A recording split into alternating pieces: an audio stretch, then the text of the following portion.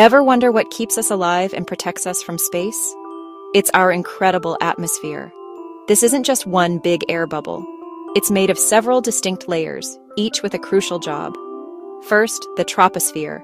That's where we live, breathe, and where all our weather happens. Next up, the stratosphere, home to the vital ozone layer, which acts like Earth's sunscreen, blocking harmful UV rays. Then there's the mesosphere, where meteors put on a fiery show as they burn up, protecting us from space rocks.